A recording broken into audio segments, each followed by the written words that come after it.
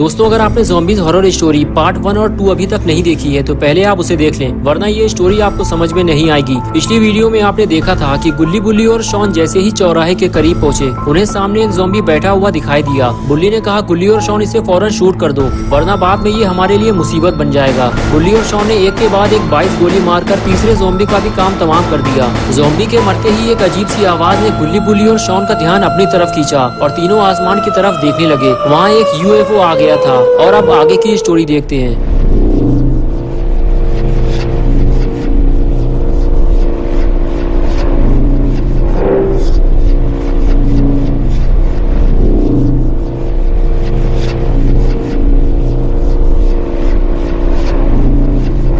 बुल्ली बुल्ली और शॉन दौड़ते हुए यूएफओ के पास जाने लगे। ये देखने के लिए कि ये यूएफओ यहाँ क्यों आया है? बुल्ली को तो पहले से ही इस बात पे शक है कि दूसरी दुनिया के जोम्बीज इस यूएफओ के ज़रिए हमारी दुनिया में आ रहे हैं। और अब की बार ये यूएफओ और कितने जोम्बीज लेकर यहाँ आया है? गुल्ली बुल्ली और शॉन यूएफओ को देख ही रहे थे कि तभी उसमें से एक तेज रोशनी निकलने लगी और तीनों बड़ी हैरानी से ये सब देखते रहे। तभी बुल्ली बोला, मुझे लगता है कि अब उस मशीन से कोई बाहर आने वाला है। हमें यहाँ से निकलना चाहिए। ये सब हम कहीं और से छुप कर देखेंगे। यहाँ रुकना ठीक नहीं है। गुल्ली ने कहा, हमारे पास गन है बुल्ली। जो भी बाहर आएगा, हम उसे गोली से उड़ा देंगे। चलो, तैयार हो जाओ शॉन। तभी बुल्ली ने गुल्ली और शॉन को गोली चलाने से रोक दिया। बुल्ली ने कहा, रुक जाओ गुल्ली। अगर जोम्बीज झुंड में हुए तो तुम उन्हें मार नहीं पाओगे। पहले उन्हें मशीन से बाहर आने दो। फिर हम सोचेंगे कि हमें क्या करना है। चलो जब तक कहीं चलकर छुप जाते हैं, तभी गुल्ली ने कहा, वो देखो बुल्ली कोई उस मशीन से बाहर आ गया है। धुंधली सी कोई चीज़ उस रोशनी के बीचों बीच दिखाई दे रही है। तभी यूएफओ वहाँ से चला गया। एक लंबा पतला आदमी यूएफओ से बाहर आया था, लेकिन उसका सर नहीं था। उसकी गर्दन काफ़ी लंबी थी और उसमें दो भोपू लगे हुए थे और उसका नाम था साइरन हेड गुल्ली बुल्ली और शॉन साइरन हेड को देखते ही वहाँ से भाग निकले। इन तीनों ने पहले कभी साइरन हेड को नहीं देखा था और साइरन हेड शहर में तबाही मचाने आ चुका था। साइरन हेड ने आते ही लोगों को इधर उधर ढूंढना शुरू कर दिया, लेकिन उसे कोई दिखाई नहीं दे रहा, क्योंकि जोम्बीज की वजह से शहर पहले ही खाली हो चुका है और जो लोग बचे थे उन्हें जोम्बीज खा गए और अब साइरन हेड के खाने के लिए कुछ नहीं बचा है, सिवाय गुल्ली बुल्ली और शॉन के। और कहीं अगर साइरन हेड ने गुल्ली बुल्ली और शॉन को देख लिया तो तीनों को अपनी जान बचाने के लिए लाले पड़ जाएँगे। गुल्ली बुल्ली और शॉन छुपकर साइरन हेड को देख रहे होते हैं, तभी गुल्ली बुल्ली से कहता है, ये तो बहुत बड़ा है, हम इसे मारेंगे कैसे? हमें इस वक्त बाबा की ज़रूरत है। गुल्ली बोला वो शैतान भी उधर ही गया है, जहाँ हमारी गाड़ी खड़ी है, हम वहाँ नहीं जा सकते। और तभी एक जोम्बी पीछे से आके शॉन के लिपट गया। गुल्ली ने जैसे ही ये सब देखा जोम्बी पे गोली चला दी। जोम्बी पीछे हटने लगा तो शॉन ने भी गोलियाँ चलाना शुरू कर दी और आखिर कुछ देर बाद जोम्बी मारा गया। तभी गुल्ली बोला, गोली चलाना बंद करो। लगता है वो शैतान इधर ही आ रहा है। और तीनों बिना आवाज़ किए चुपचाप खड़े हो गए और तभी वहाँ साइरन हेड आ गया। सायरन हेड गुल्ली बुल्ली की तरफ़ ना आके सीधे आगे जाने लगा। लेकिन ये वहाँ क्या करने जा रहा है?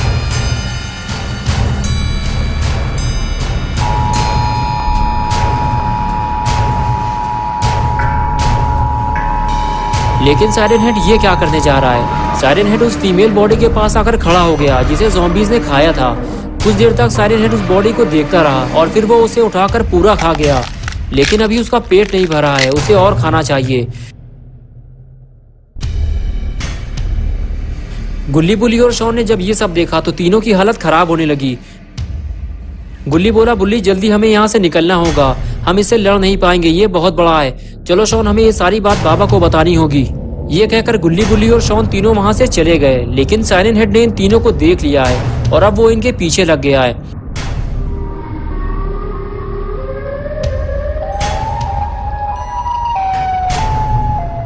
गुल्ली बुल्ली और शॉन को जितनी जल्दी हो सके अपनी गाड़ी तक पहुँचना है, और सायरन हेड के आने से पहले ही यहाँ से निकल जाना है, वरना साइरन हेड इन लोगों को यहाँ से जाने नहीं देगा।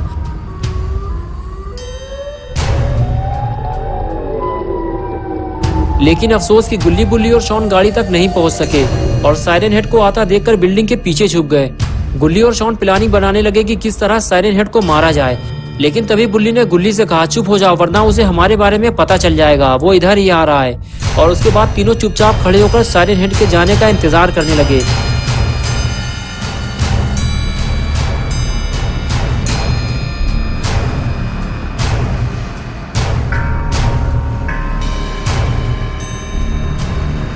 कुछ देर गुल्ली गुल्ली को ढूँढने के बाद साइलेंट हेड वहाँ से जाने लगा।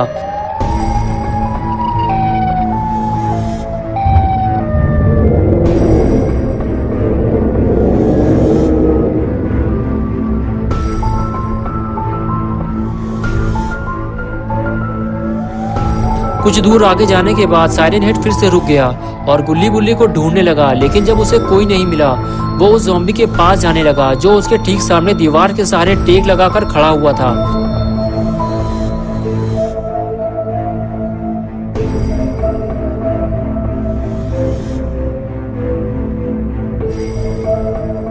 जैसे ही साइरन हेड जोम्बी के पास पहुँचा फ़ौरन जोम्बी ने पास आकर साइरन हेड को सल्यूट किया क्योंकि साइरन हेड सारे जोम्बियों का लीडर है। साइरन हेड ने जोम्बी को डांटते हुए कहा, तुम लोगों ने अब तक इस शहर को इंसानों से खाली नहीं कराया। अभी मैंने तीन लोगों को टहलते हुए देखा है। मैं तुम्हें आखिरी मौका दे रहा हूँ। एक घंटे के अंदर इन तीनों को ढूंढ निकालो, वरना नौकरी से निकाल दिए जाओगे काम चोर कहीं के। जोम्बी को हड़काने के बाद साइरन हेड आगे चला गया और डांट खाने के बाद जोम्बी का खून खोल गया और वो गुल्ली बुल्ली को ढूँढने निकल गया और इधर गुल्ली बुल्ली और शॉन गाड़ी तक पहुँचने की प्लानिंग बनाते हैं। बुल्ली कहता है साइरन हेड चला गया है। जितने जल्दी हो सके हमें गाड़ी तक पहुँचना है। वो भी बिना आवाज़ किए, चलो जल्दी करो, वरना साइरन हेड आ जाएगा। ये कहकर गुल्ली बुल्ली और शॉन गाड़ी की तरफ़ जाने लगे।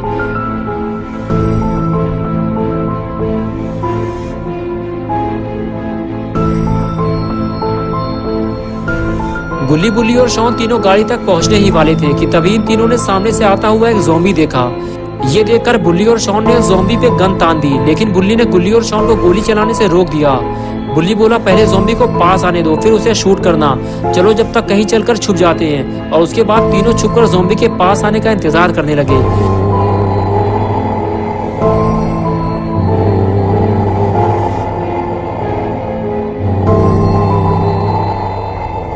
गुल्ली ने कहा, तुम लोग तैयार हो ना, लेकिन एक बात का ध्यान रखना, गोली चलते ही साइरन हेड आ सकता है। गुल्ली बुल्ली बात कर ही रहे थे कि तभी शॉन ने गोली चलाना शुरू कर दी। शॉन को देखकर गुल्ली भी गोली चलाने लगा, लेकिन जोम्बी भाग गया। गुल्ली और शॉन के हाथों से एक शिकार निकल गया।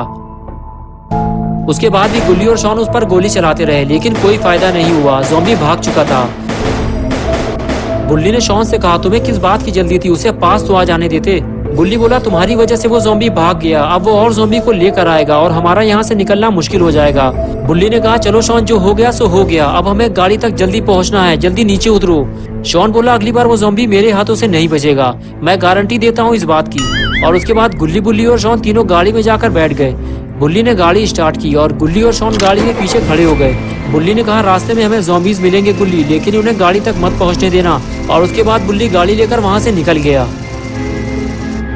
तभी वो पहला वाला जोम्बी दौड़ता हुआ आया और किसी को इशारा करके जाती हुई गाड़ी दिखाने लगा।